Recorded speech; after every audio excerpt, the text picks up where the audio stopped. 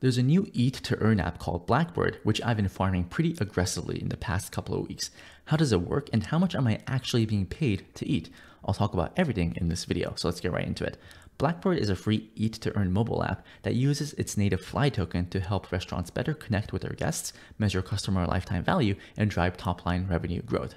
The reason I'm excited is because of the founder, Ben Leventhal. He previously founded Eater, which was sold to Vox 10 years ago for $30 million, and he also co-founded Resy to, and he sold it to American Express for an undisclosed amount. He raised $11 million for this company in 2022, and I also heard rumors uh, that they raised $24 million in Series A this year, putting the valuation of the company post-money at $120 million FDV. So, you know, pretty successful founder. S seems like he raised a bunch of money, um, and now he's going to focus on expanding this business um, and maybe selling the company at a future date. Right now, it's only available in New York, but they have plans to expand to LA, San Francisco, and Miami. And they're not only going to be uh, like restaurants, it's going to be bars, clubs, other shops. Uh, so pretty holistic there. So let's talk about the token, how it works, and answering the question, what makes this different from other like walk to earn or X to earn applications, isn't this all a Ponzi? So I'll discuss those questions later in the video. So you can go to blackbird.xyz and check all the participating restaurants. And if you actually visit, this is Upside Pizza uh, near Chinatown, there's going to be this little uh, square thing that you can tap your phone into. And then for every tap, both the user and the restaurant gets the same amount of fly. So it's kind of like this dual incentive mechanism, uh, incentivizing both demand and the supply side. You also get an NFT when you dine in for the first time with perks along the way. For example, uh, I went to Monsieur Vo twice. The first time I got a free sake shot. No, that was free. Um, and then on my third visit, I'm going to get a surprise gift, which I have no idea what this is. Um, and there's another uh, restaurant called Madame Vo, which I think is owned by the same person. Um, and on my first visit, I got a free Vietnamese iced coffee. And the third time, out, I got a free spring roll. And the cool thing here, um, and if you think about how everything is going to connect, um, on my fourth visit, I'm going to get a free glass of wine at Monsieur Vo. So if I go to Madame Vo for the fourth time, then they're incentivizing me to go to Monsieur Vo for my next visit because I'm going to get a free glass of wine and maybe I'm going to get like a free appetizer or something. So you can kind of imagine um, how this can all tie in in the future where if a family business has multiple locations um, across Manhattan, Brooklyn, New York, uh, then maybe there's going to be like, like different ways to incentivize people to go to different restaurants, try out different menus, seasonal menus, and that way you can kind of, you know, give um, diners a better experience. There's also ways for restaurants to sell memberships. So for example, Upside Pizza for $200 a year, I can get one slice with any topping per day for a full year, access to private concerts, some exclusive merchandise, etc. I know a few people um, that's purchased this because they want to farm this, and if they go five times a week, that's less than a dollar for a pizza slice every single day. And for New York, that's pretty good. Um, and there's other, I mean, you can pause if you want. Um, there's like other perks that you can use to create utility for the Fly token. Um, but you know, this is kind of mumbo jumbo at this point, just because they just launched a couple months ago.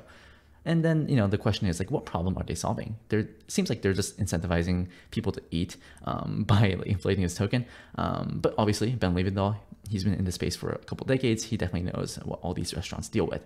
And you know, what makes this different from other loyalty programs? He calls this the guest ownership program, where know, restaurants face this compounding problem of having uh, an extremely low fidelity understanding of who their customers are, while at the same time paying extremely high fees to access them. And legacy examples like Five Star, where you know you go to a particular location, you get points, um, they tend to be engineered such that uh, they fall short in three crucial ways. First, they often encourage loyalty not to the restaurants, but instead to the 30 parties that run them. Second, um, though restaurants pay fees to, you know, for the privilege of this information, um, they're also forced to give away free items, um, and they don't really actually earn points or control how they can be redeemed, um, and they don't really get to participate in the upside for these third-party loyalty programs.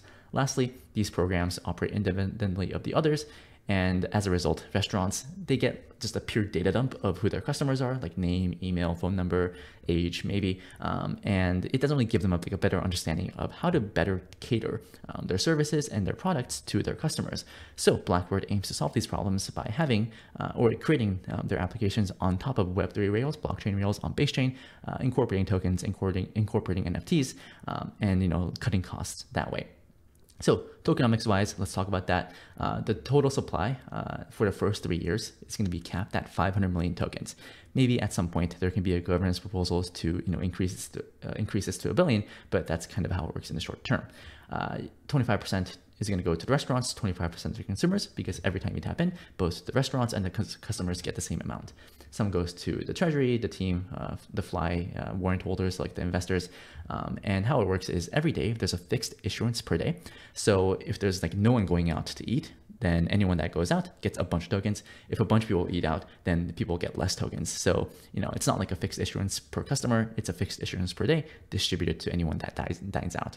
So we don't really know the exact math, but, um, you know, people in the humble farm army discord community we've kind of done like the back, back of the envelope analysis of okay like how is the issuance curve like what, like what is it actually like and we kind of thought it would be something like this um, if you kind of like you know just like reverse engineer this um, like roughly 170000 tokens per day um, at launch and then kind of slowly dwindling down over time in mid to late September, we expect the issuance to be like roughly this. So, you know, depending on how much tokens are issued per day, you can kind of, you know, think about, okay, like there's like this many daily active users. Um, and just because it launched and no one really knows about this, um, the issuance has been pretty high. So I guess I'm hurting my yields by making this video. Um, but I do think it's a cool application that I want people to know about um, that, you know, if you're in New York, I think you should definitely take advantage of this opportunity. I even know a few people that like is flying out to New York just to farm this. So, you know, I'll talk about the price targets for, uh, you know, this token token later. Um, and you know, of, of, course, as there's more adoption, the points over time kind of goes down. Um, and this isn't like perfect, um, but it seems like you know, um, the, like there's like less points that you get on like a Friday and a Saturday compared to Friday, like Wednesdays and Thursdays. So I mean that kind of makes sense. There's probably less people eating out on Wednesdays and Thursdays relative to like Friday, Saturday, Monday, and Sunday. Um, but I'm sure that over time, uh, you know, we'll get better information on like average issuance per day, uh, given uh, like a particular weekday or weekend. Uh, so this is like my current metrics. I spent roughly $500 to farm 41,000 tokens. I've also been tracking my weight and Interestingly enough, it's kind of going down. Maybe because I've been walking around in 90 degree Manhattan weather, um, but it's getting kind of cooler now, so I expect you know uh, my weight to start trending up. Um, and as you can see, um, recently, uh, a couple days ago, I only got like a couple hundred tokens. Um, I think yesterday people got 600 tokens. So it really depends when you go, um, and depending on like how many people are dining in that particular moment. So, okay, like you know, of course, it made sense to farm this um, at like a thousand, two thousand like issuance. But you know, like, is it really still worth farming at 100, 200, 300, 400 fly tokens uh, per dine in. So, you know, how much is it going to be worth? And I think the answer is yes. So I'll first, you know, give some simple analysis on like, okay, like if this token gets this valuation, how much it's going to be worth, and then I'll talk about okay, like how can we value this company um, relative to you know I guess it's uh, its peers in competition. So if we assume a $120 million FDV at launch, which is like what they launched at, or like what they raised at for their Series A, it would price fly at 24 cents. So um, if you dine in and you get 100 fly, which you know, might be reasonable for the past couple of, for, for the next couple of weeks and months, that's a $24 meal rebate, which I think is pretty reasonable. Um, and if you look at other X to earn applications like Sweatcoin and STEPN, um, you know, Sweatcoin, it's still hovering at like, well, 100 to 200 million dollar market cap, and STEPN, which is like the walk to earn app on Solana, it's sitting at a billion dollar FDV. So what if it gets to a billion FDV? Then it would price fly at two dollars, which would mean a $200 meal rebate. Okay, that definitely makes sense. Um, but if you look at STEPN, I mean, if you were still in the crypto markets back then, uh, you probably remember last year there was like this crazy pump in STEPN where it reached over $2.3 billion um, circulating market cap which was effectively like over $10 billion FDV. So what if Fly gets to some euphoric, you know, like level, right? For like whatever reason, it's like sometime in 2024 or 2025, like how much can uh, the, the Fly token be worth? Well, at $10 billion, uh, $10 billion FDV, it would put Fly at uh, $20. So even if you get 100 Fly, that's a $2,000 meal rebate. Um, and it, you know, it, like you're not like just getting these tokens. These tokens are going to have utility. So even if you're pessimistic on the token price, you know, you're still getting utility out of this. And it's also like a pretty good incentive to, you know, go out, meet new people, um, and uh, personally, I've been using uh, Blackbird um, as like a way to connect with other people in crypto as a net, as like a networking tool um, to you know uh, to have like a better like face to face like human interaction um, because you know crypto like you're just like facing my screen all the time. Um, it, it, it, gets pretty uh, lonely sometimes, so I think it helps like have um, applications like this um, that tries to connect Web3 like blockchain rails to the actual real world. and unlike Walk to Earn, Blackbird is actually creating real value in the economy by encouraging people to consume physical goods. Um, so, you know, like if I go to, uh, you know, if I spend 10 $15 at a pizza, right? I mean, that dollars like are directly going to the restaurant. And you can also think about the multiplier effects of like the economy where, you know, if I spend, uh, if, if, I eat like two slices of pizza, then chances are maybe I go to a local bar to drink some beer. Um, so, you know, it's creating real world value, um, like, you know, by inflating these tokens. Um, and it also encourages consumption because walk to earn, right? People were buying these like devices where they would like just put their phone in, like just swing it back and forth, right? It, it goes like this, and then they would get a bunch of these sweat tokens and like these STEPN tokens, and it was easily like sybilable or like easily farmable. Um, least like this time around, like you actually have to go to these physical locations and eat, um, and there's like no actual tricks. Uh, so you know, like this way, uh, maybe it actually has more value. Uh, and because people are actually spending money at uh, the actual restaurants, um, there's gonna be you know, um, as Blackbird gains more users, there's gonna be you know more eyeballs within the application which advertisers can tap into. But you know, like what's the point of it, right? Other than like you know using it to for perks, uh, selling it in the open market, who's gonna be buying it, right? Isn't this just a Ponzi? Right? It just seems like it's a yield farming tool, right? With extra real life steps. Um, and like I mentioned, I do think advertising can play a key role. Sweatcoin, right? They literally just give away tokens for people to walk. Um, but because they have hundreds of millions of daily active users, or maybe not daily active, like, you know, hundreds of millions of users, uh, they have an advertising model, uh, which amounts to like roughly $20 million in annual revenue. And also, you know, uh, Blackbird has these like in-app uh, memberships, which they can easily take a five to 10% fee on uh, and Square. And this is like one of the like the big use, use cases that I see. Um, and uh, point of sale systems like Square and credit card companies, they charge a pretty hefty fee, right? Three to five percent on average. Um, and if you think about one of the use cases for blockchains, it's stablecoin, uh, stablecoin issuance and stablecoin um, settlements. So if Blackbird can just undercut Square and other point of sale um, or like credit card processing fees and maybe charge 0.5 or 1%, you know, that can be a pretty strong like value prop for these restaurants um, because, you know, 2 to 3% over the course of a year really adds up. Um, so, you know, I guess settling like, transactions in stablecoins like, in app can be a really good way to, you know, I guess save costs for the res- uh, restaurants and maybe, you know, uh, like those cost savings can be passed down to customers as well. And Leventhal, the founder, mentioned that he can potentially sell Blackbird to a payments company in the future. So I feel like I feel like you know this is definitely um, the trend they're going to and like maybe they can even sell it to like someone like google or like yelp um, because you know they might have a bunch of data. Uh, he mentioned this in like one of the podcasts. He's done a lot of them. Um, and if you think about like web 2 companies and i guess comps um, I think Yelp is a pretty obvious one, right? Um, because you know they have a bunch of data, they have, they have reviews, and they can sell ad slots to like businesses, um, and even tra- TripAdvisors because all, all these companies they sell targeted ads to businesses. They have you know subscription services, commission, sponsored placements, and that I feel like that's the direction. Uh, Blackbird is going to go. Um, and I think from a user engagement perspective, I think you know Blackbird is way more exciting um, and has a much better path towards um, like hus- like uh, like more like user retention, daily active users to something like Yelp um, and TripAdvisor. Um, and but like both these companies are worth two to three billion dollars. Um, and why can't Blackbird get there, right? I mean, the founder is definitely legit. He's already had successful exits. Um, I think from an operator perspective, I think he's easily uh, someone that I can bet on. Um, if Blackbird was founded by some anon developer in like some random country or like some like some random dev living in their mom's basement, then I would not be excited. But because the founder um, has a significant track record, uh, it makes me a lot more incentivized to you know engage with the application, go to these restaurants, eat at these restaurants, tip graciously because you, you you also want the early adopters on the supply side, the restaurants, to also be rewarded. Um, I think a billion dollars supply FDV is reasonable. Um, and given it's crypto, I can definitely see some euphoric like craziness, right? Where everyone shorts and there's like some short, short squeeze. Um, but you know, I, I think a, like two dollar fly is reasonable. Um, and you know, even if you only get a couple hundred fly tokens per day, um, I still think the EV or the ex- expected value to dine in at these restaurants is pretty high. Um, and you know, like it's it's not just some random token that you're going to farm. You can also use it for in-store perks.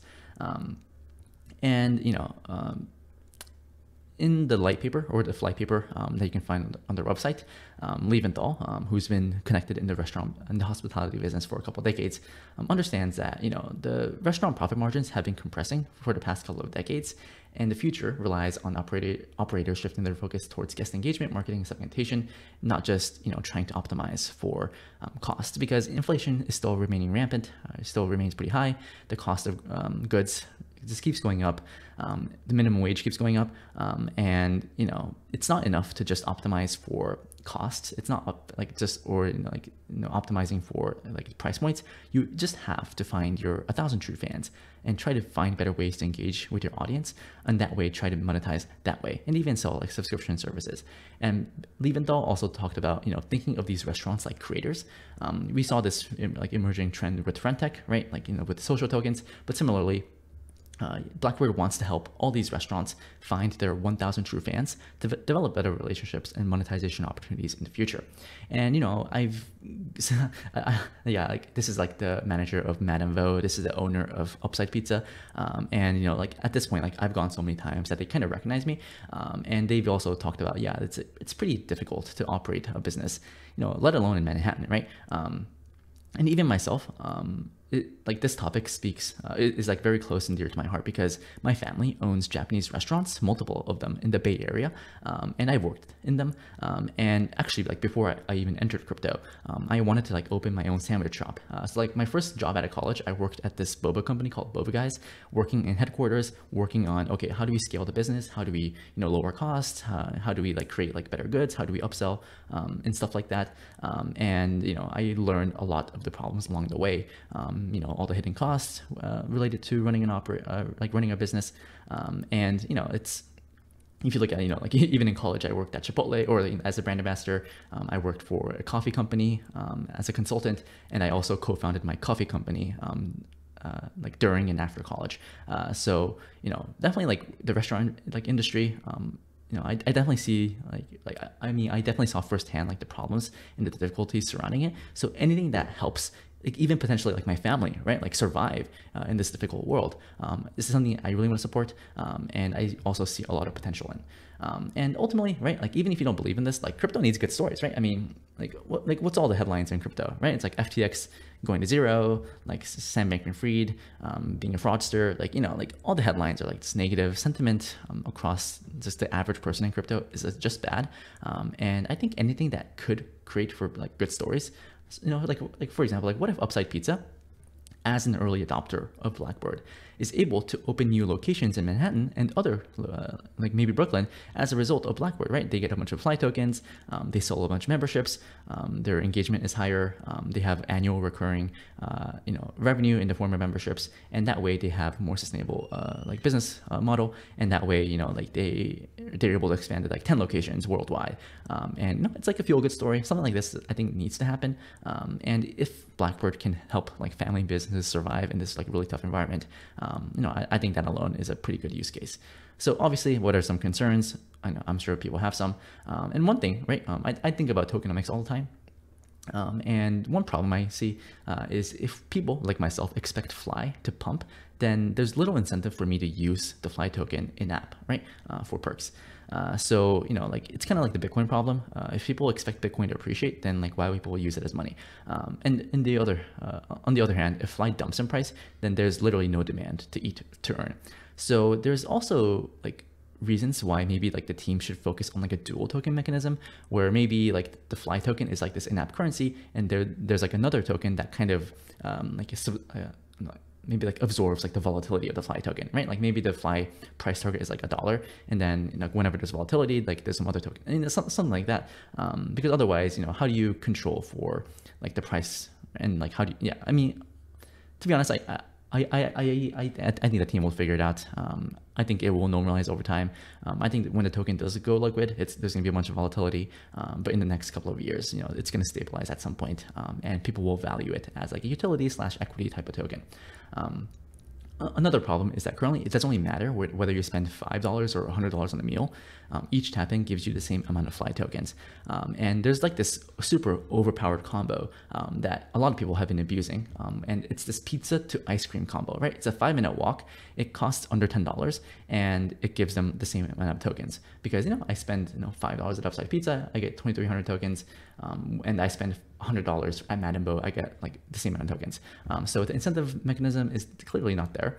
Um, and, you know, some members of the Humble Farm Army, uh, you know, the Discord community, um, they're, I mean, they're, they're not like, you know, attacking the system in any way. They're I mean, the system was designed in, in, this particular way, so they're just like buying pizza, buying ice cream, gaining some weight, um, but they think the trade-off is worth it. Um, so like, how are they going to fix this? Um, and you know, if you go to the Discord on Blackbird, um, they, they actually like suspended some accounts because they saw someone like tapping in like five times in a particular day. They're like, okay, like this person is probably not like using Blackbird in its intended way, um, and you know, like yeah, they're, they're, like banning accounts. Um, and if they're if, uh, if these accounts were banned wrongfully, then just email them and whatnot.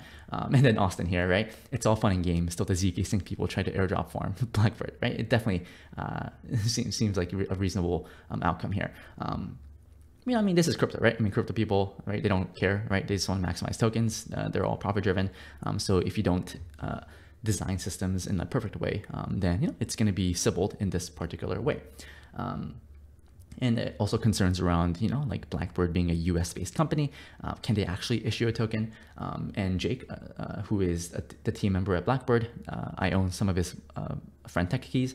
And he mentioned that, yes, like the Fly token will eventually be on public blockchains. It's not it's, it's not deployed right now. Um, and then, you know, check out the Fly paper. Um, and, you know, like a couple days ago, um, people only got like 400 tokens, um, but you know it's normalizing. People are using the platform. Um, like I think the Messari conference is this week, along with other uh, events in New York. So I think a lot of people, uh, like crypto people, are in New York. So like they're like tapping in. And yeah, so like Messari mainnet is happening here. Um, and the question around weeding out people that tap in and leave without buying anything. Um, easiest ways to tie in coins with like dollar spent. And Ben, I own, I own some of his friend tech keys and he mentioned, yeah, like we're working through the exact question this week. Um, and I think it comes down to hitting a minimum the restaurant sets and hopefully like integrating with the point of sale system. Uh, and maybe Blackbird can even create its own point of sale system or like its device and actually compete with like that of Square and whatnot. Um, pretty difficult. Um, I think they're going to just focus on the mobile app but you know you can kind of definitely see the direction of you know where this company can potentially go in the future. So looking ahead um, you know like can this evolve to more than just eat to earn? Like what more features can they add on? Um, and like ultimately like the bull case is you know utilizing tokens to incentivize real world behavior and real world activity is pretty novel. Um, blackbird being led by Ben Leventhal makes this even more compelling given his connections and execution skills. He basically knows everyone in the restaurant and hospitality industry. So you know if you want something to be done then chances are it's going to be done um, so this is like a like a text message that I got from someone, but um, you know, he also so he was dining in at some restaurant, uh, and there was like some meeting with a Blackbird sales representative, um, and there's going to be a new feature upcoming uh, with prepaid menu items where you can have like you can order items ahead of time um, using stablecoins or the Fly token. Um, so you know, the Fly token can be used to buy meals and whatnot um, and other features, right? Stablecoin payments. I think this is like one of the biggest biggest thing. Um, undercutting Square and other credit card processors and fees, right? Even charging one percent of all transaction fees is a pretty big value add. Um, you know, to get around to help restaurants get around like the three to four percent charges in that fly payments, right? Uh, so that can be there can be some token sinks there. Restaurants launching loyalty programs, so Upside Pizza, two hundred dollars a year, get free pizza every single day, um, and then maybe um, Blackbird can take one or two percent of uh, those transaction fees, and then integrations with bars, clubs, etc. Um, in their most recent blog article, um, they were looking into uh, like friend tech and like the bonding curve, um, and he also gave the uh, like the writer. Uh, you know, um, wrote, wrote, about this uh, case study where um, this company called Gertrude's they were able to use Blackbird to raise $60,000 uh, to help save their restaurant. So even before the tokens were like being emitted, um, you know, Gertrude was able to, you know, get people to download the application, buy memberships, um, and help raise money. So, you know, definitely like a use case there, right? The idea of 1,000 true fans. Um, and Blackbird also considered, you know, using like a bonding curve um, to sell memberships at a low initial price. And then uh, like, basically how a bonding curve works is like when the supply of a membership is low, uh, then the cost of it is low. But as more and more people enter or like buy this membership, the cost goes higher, right? So it's kind of like um, the opposite of like the typical supply demand model where uh, less like with, with, with less demand, is, uh, it's a low price and with more demand it's a higher price. Uh, and you know kind of like think about that right? Like with like bars and clubs. Um, i had a friend visiting um, like last week um, and they tried to go out to like bars and nightclubs um, in new york uh, for like friday and saturdays um, but it was all booked um, but like what these bars and clubs can do is they can just sell memberships on a bonding curve.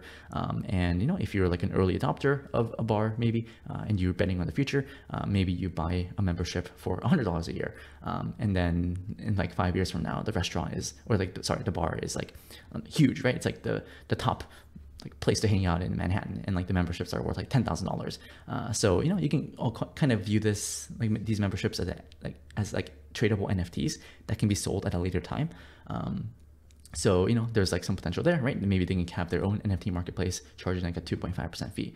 So uh, lots of opportunities. Um, they just launched, so it's you know it's it's probably bad to like just judge the application for what it is right now, but just more think about okay, like what it could be in the future. The team is very legit. They have a bunch of money, um, and I definitely think that it has legs. Um, and then, and I think you know, I've talked about this trend towards mass consumer apps. We had Friendtech, and now we have Blackbird, both launching on Basechain. And I think people are tired of crypto pump and dumps, just tokens going up and then going down, people making money, people like getting burned.